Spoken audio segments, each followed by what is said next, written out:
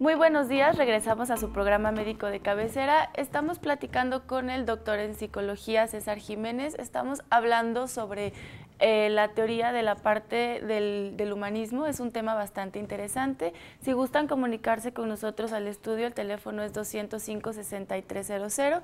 También estamos en el canal 071 de Easy. Y bueno, pues estábamos platicando acerca de, de, de, toda esta parte de volver a, a, devolver esa humanidad que estamos perdiendo. Tal vez el ritmo de vida, la época, los medios han hecho que nos vayamos deshumanizando poco a poco. Entonces, yo tengo una pregunta, ¿cómo, o sea, todos los, nosotros necesitamos este tipo de terapia humanista, nosotros tenemos la libertad de escoger el tipo de terapia, ¿por qué la psicoterapia no? ¿Por qué el humanismo sí? ¿Cómo, cómo se escoge o qué tipo de pacientes o qué tipo de personas son las que deberían llevar a cabo este proceso? Bueno, en un marco de, de, de completa ética, uh -huh. el el terapeuta tiene que estar capacitado para realizar diagnósticos clínicos. Uh -huh. Si yo me promuevo como terapeuta, debo saber que tengo límites, que tengo límites y esos límites están dictados por mi teoría. No, no, cualquier, no cualquier persona egresada de una facultad de psicología puede ser terapeuta. Digamos que un recién egresado no puede decir soy terapeuta y soy humanista tiene bases de Ajá. conocimiento epistemológico. Uh -huh. Haría falta agregar por lo menos un diplomado. Uh -huh. Por el tipo de atención, por el tipo de, de, trabajo que se hace, haría falta agregar un diplomado o sí que él pueda demostrar que por lo menos por la experiencia que él ha tenido en un centro de trabajo o alguna cuestión, pues tiene las tablas para poder hacerlo. Uh -huh. Sí, eh, si una persona llega a consulta y me dice que está bien, pero yo veo su pierna así, así, está sudando muchísimo, se le nota en la camisa que está, que está sudando, en la blusa, eh, no deja de mover los ojos, no deja de mover las manos. Yo estoy obligado a preguntar. Mi clínica me dice que algo ahí uh -huh. puede no estar bien, ¿no? Podemos decir, son síntomas vegetativos de ansiedad. Uh -huh. Cuando hablamos de síntomas vegetativos de ansiedad, ya no todo el mundo empieza a saber qué son los síntomas vegetativos de la ansiedad. Si hay ojitos vidriosos, y uno empieza a preguntar, temblores en las manos, temblores en extremidades, si algunos problemas gástricos, problemas para conciliar el sueño, conforme vamos avanzando en estos diagnósticos clínicos, nosotros podemos ir saliendo de la terapia y de alguna manera decir obligatoriamente, usted para reducir estos síntomas, por ejemplo, si vamos avanzando, ideación de muerte, sí. Planeamiento, sí también. Y es muy difícil porque estamos hablando de una persona que tiene una planeación y un pensamiento recurrente uh -huh. de lastimarse. Uh -huh. Mi obligación es cuidar a esta persona y decirle, claro. usted necesita tratamiento psiquiátrico para disminuir estos síntomas y si se si disminuyen esos síntomas, entonces sí, poder tener una, una, una terapia ¿no? A veces la terapia tiene que ver con el medio ambiente, con el trabajo, la familia, con cantidad de cosas. En esas circunstancias, esta ética que nosotros debemos tener, algunas personas humanistas dirían, ¿no? Es que no, el humanismo no tiene que ver con psicotrópicos, ¿no? Con este, la, la, terapia de la pastilla y todo eso. No, lo, la, la, la respuesta a las circunstancias que podemos tener ahorita nos obliga a ser éticos y, a, y al, si yo soy humanista, pues tengo que cuidar todo lo que yo pueda. Toda tu parte humana. Si la persona dice, no, me niego a ir a empastillarme, eh, se tiene que dialogar, se tiene que hacer un contrato y entonces estamos en la terapia haciéndole un, un trabajo a lo mejor sobre eh, técnicas de relajación que le permitan a la persona no tomar, ¿no? Uh -huh. este, eh, medicamentos, ¿sí? pero que sí tenga una conciencia de lo que está pasando. ¿no? Eh, ¿A quiénes puede atender la psicoterapia humanista?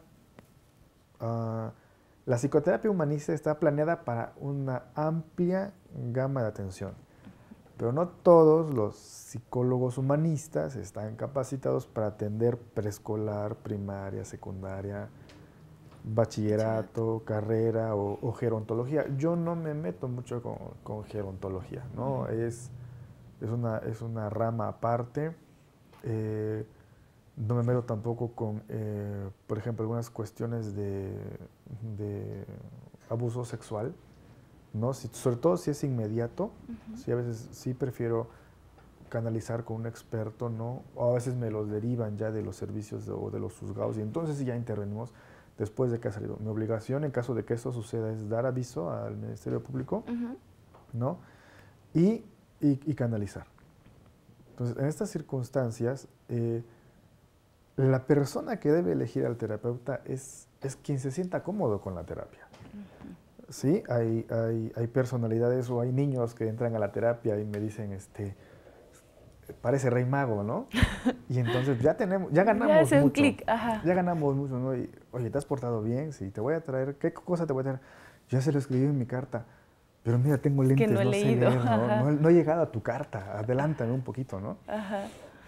O hay niños que, al contrario, ¿no? La barba representa algo terrorífico para ellos. Yo creo que Una autoridad, algo serio, tal vez. No, más bien como el lobo feroz, ¿no? Ajá. Sí, eh, y entonces no le entran a jugar con el lobo feroz. Entonces, cuando suceden estas cosas, no estoy obligado a, hacer un clic con el niño si el niño no quiere. O sea, yo tendré una, una, dos sesiones para hacerlo de manera más rápida, pero no es, no es como nuestra obligación eh, hacer un gancho con el cliente y, trabajar. No, yo creo que tiene que ver mucho con la persona.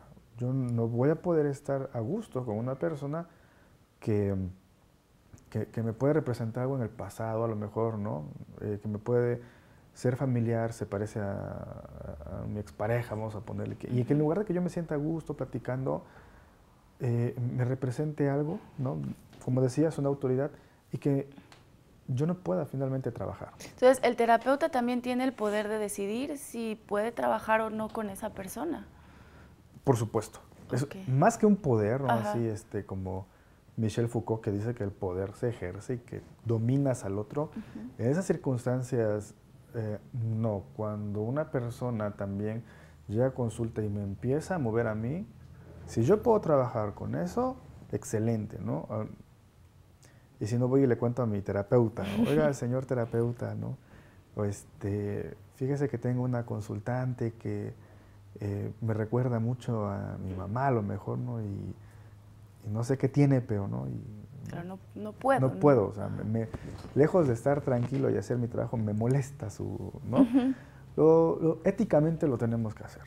Sí, se le dice, eh, no es obligatorio que le digamos a la persona, no puedo trabajar con usted, no, sino simple y sencillamente la voy a llevar, ¿no? Acá tiene una tarjetita con otros tres, cuatro terapeutas. Y usted escoja. Usted escoja, ¿no?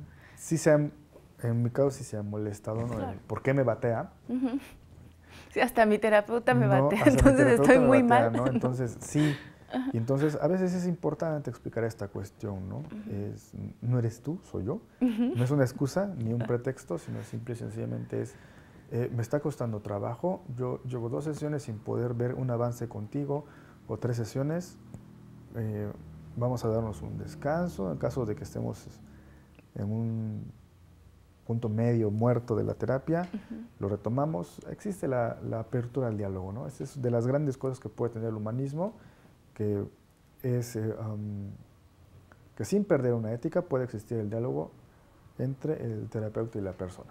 Claro, hay entonces por lo que eh, mencionaba, no hay un límite de edad para llevar este tipo de terapia, o sea, no es como solo para adultos, solo para adolescentes o solo adolescentes y adultos, pero niños no, o sea, todos los grupos de edad entran en esta terapia. Sí, sí, sí, desde niños de... si no se trabaja con la familia, a lo mejor el niño desde que pueda articular el lenguaje, ¿no? Jugar. Es maravilloso ver cómo a través del juego, de un juego con una pelota, este, el, avioncito quemado, yo incluso te puedo decir hasta luchitas en presencia del papá o con el papá, la mamá, ¿no? Eh, le dan al niño una fortaleza interna o van construyendo, ¿sí? Eh, a la persona, van empoderando al niño para poder estar en la escuela, para ir retomando actividades de responsabilidad, ¿sí? O a personas ya muy, muy, muy, muy grandes, eh, bueno, 70 años, no lo sé, ¿no? Hasta que hay un momento en el que sí cuesta mucho trabajo mover marcos de referencia, ¿no? Esta canción de soy así, así nací y así me moriré, ¿no? Eh, a veces, mientras más grande, mayor es la persona, está más, metido este chip y es la parte en la que ahí se, se, tiene que utilizar técnica, se tiene que utilizar algún tipo de cuestionamiento filosófico profundo o, más en, el sentido de lo mental para que la persona pueda aceptar la movilidad de ciertos marcos. En un comentario, mi, mi, abuela se enojaba muchísimo cuando me decía, ¿por qué estás pegado a la televisión? Abuelita, estoy trabajando, pero no me gusta que veas la televisión abuelita, estoy haciendo mi tarea, esto es una computadora, no es una televisión. Pues no me gusta que estés tanto tiempo ahí.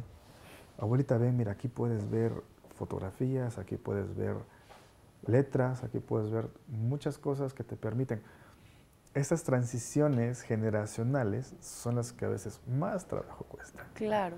Y cuando generan dolor, pues también necesitan ser dignas de pensamiento, de tratamiento, ¿no? de diagnóstico y de trabajo por parte del terapeuta.